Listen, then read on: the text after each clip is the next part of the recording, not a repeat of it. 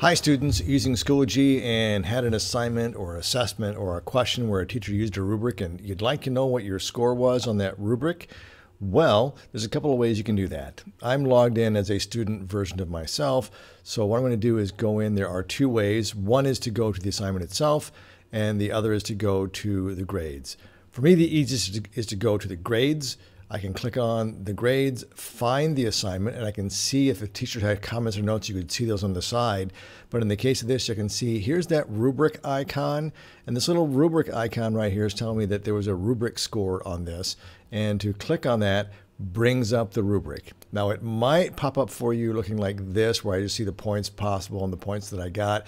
If you click on this little box that expands it, you'll see it has all the details of the descriptors of what each of those are worth. So that's one way to get there. Let's take a look at another way. Another way to get there is to simply go to the assignment itself. And I know to get the assignments, this particular one down here, these URQs have a, a rubric attached to it. So I'm going to click on that rubric that assignment. And I can see I've made that rubric available to the students. So as a student, I can see here's what the expectations are before I even start. And then here's my score up here in the corner. As you can see, it's 6 out of 10. Didn't do so well, sorry. Uh, but click again on that rubric icon, and again, that same option pops up. Again, if it pops up without showing you the descriptors, just click on the box to make that show up.